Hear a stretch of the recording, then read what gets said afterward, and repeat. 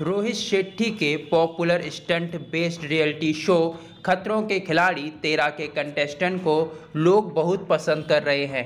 खासकर गुम है किसी के प्यार में की पाखी उर्फ़ ऐश्वर्या शर्मा और बिग बॉस की एक्स कंटेस्टेंट अर्चना गौतम के बॉन्ड को काफ़ी पसंद किया जा रहा है। इस शो में हर बार की तरह इस बार भी दोस्ती ड्रामा कॉमेडी एक्शन डर और लड़ाई देखने को मिल रही है। इस शो में धीरे धीरे खौफनाक स्टंट और टास्क शुरू हो चुके हैं, जिससे बच पाना कंटेस्टेंट के लिए काफ़ी मुश्किल दिख रहा है।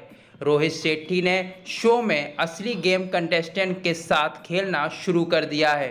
सोशल मीडिया पर खतरों के खिलाड़ी तेरा इन दिनों चर्चा में बना हुआ है। इस शो में सबसे ज़्यादा एंटरटेनिंग कंटेस्टेंट अर्चना गौतम है।